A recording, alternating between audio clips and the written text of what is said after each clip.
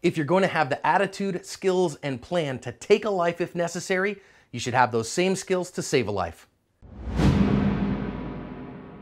Hi everyone, this is John with today's active self-protection lesson out of Las Vegas, Nevada. This one is graphic, and so if you're squeamish at the sight of blood, please don't watch this video. Just hit the pause button, go on to another one.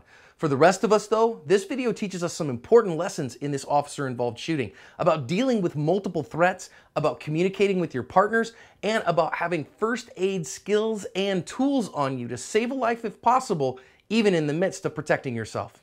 Officers have been following the stolen Honda that's on the right side of your screen for a while. When they try to pull him over, he runs away and they're about to bail out. And what we're gonna see here is a gunfight ensue because what's going to happen as they bail out of the car and the action starts, you're going to see the guy pull a gun here and fire it in the air once. He fires it back at the officers a couple of times. They're going to come in and fire at him a bunch. Now we're going to listen in on their body cams. There's a lot of foul language here, so you know viewer discretion advised. Bunch of blood as well. We'll come back and learn some lessons in a minute. Oh, they're gonna run. Get on the ground! Get on the ground now!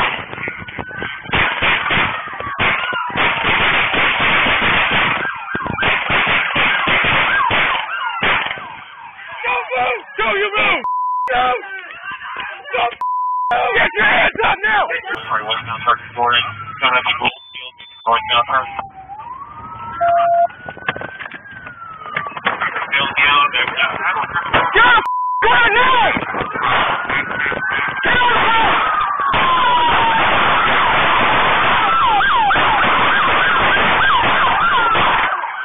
Don't move! Don't move! Don't move! Get your hands up! Let me see your hands! There! Here, watch her! Watch her! Watch her! I'm dying. Oh my god. I'm, I'm dying. I'll go hands up. Oh my god. I'm dying, sir. I'm dying. Don't do that. Oh my god, I'm dying. Oh my god. Oh my god. Oh my god. Oh. I'm dying, sir. Oh, oh, oh, oh, oh. All right. Hey, tourniquet. Oh, I'm. I'm working on it.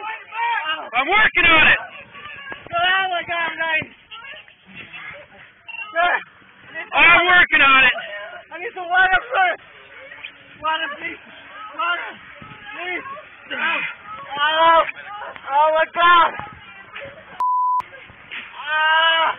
Dude, I got you. Oh. Oh my God. Sir, There we go. There. some Tight, nice and tight. Oh, back. Good, good. Ah. Yeah, then you want me to start twisting. Ah! Go ahead. Ah! All right, I'm gonna start. Yeah, twist it, twist it, twist it. Okay, that was really intense. Let's go back and learn some lessons on this one. I think the first one is how fast these deadly force encounters happen. And what we're going to see here is as they bail out of the car, as the guy pulls a gun, he's going to shoot it at least once in the air. And the news story says he shoots it back at the officers multiple times as well. Clearly, this guy is a deadly threat to himself and everyone around him. So as the officers bail out, they just see him shooting up in the air. He's going to turn around and shoot at them. Clearly justified to shoot back at him at this point.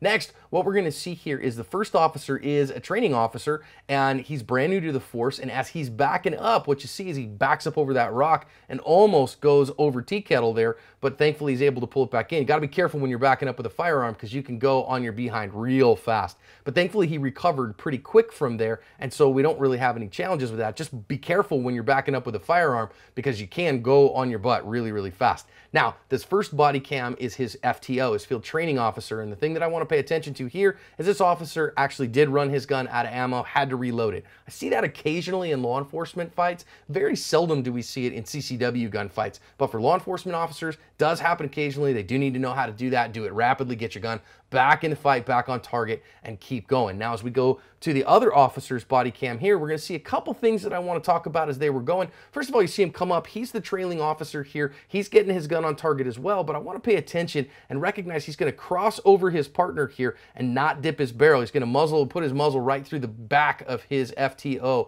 And that's not something that we want to do on a regular basis. Yes, this is definitely a high stress environment, but you want to be careful with that because in that high stress environment, you might shoot somebody. But I do love here that when that threat appears to be ended, he goes over and assesses the other threat for this woman in the car. They actually found another gun in the car, so we don't know what the threat level is from her at this point, so they are checking out. Now, I do notice here that our officer as well did dip his muzzle when he went around this other officer, so in that moment, he recovered and recognized, oh man, I gotta watch my muzzle here. That's something that we definitely wanna do. Now, once the shooting is over, these guys are gonna come back, and what we're gonna recognize here as we go back to the other officer is he's saying, look, man, okay, so I gotta end the threat, and you heard the guy saying, man, I'm dying, I'm dying, I'm dying. They secure the weapon, get it away from him, that's smart.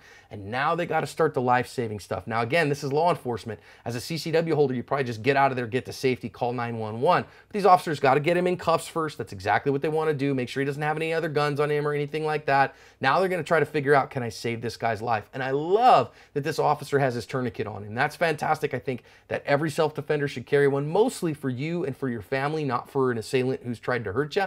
But in this case, these law enforcement officers, you know, they have a higher calling. And so he does that here. And I think that's great. And having first aid skills and first aid tools, incredibly important, like a tourniquet on you. But you notice how bloody he's getting doing that. Man, this is the reality of things, folks. And I would really recommend with your tourniquet there, put a pair of gloves in there with that because you don't want to have hepatitis shots for a whole bunch of time because you don't know what you're going to get from this guy. But you got to be able to not be revulsed at blood like this. They finally get the tourniquet on correctly and start cranking it down, and they saved this man's life doing it. So not only having your, your life-saving tools like your firearm on you, but your life-saving tools like your tourniquet on you, incredibly important. All in all, these officers put shots on target when they needed to. They protected themselves and everyone around them. They saved this man's life, and they covered their asp. Thanks for watching today's active self-protection lesson. I hope it helps you with your attitude, your skills, and your plan to keep you and your family safe. If you'd like another lesson in a similar vein, click right here to go see our most popular narrated videos. If you like what you see and you don't want to miss them going forward, please subscribe via the button right here and turn those notifications on so that you get notified every time a new active self-protection lesson posts.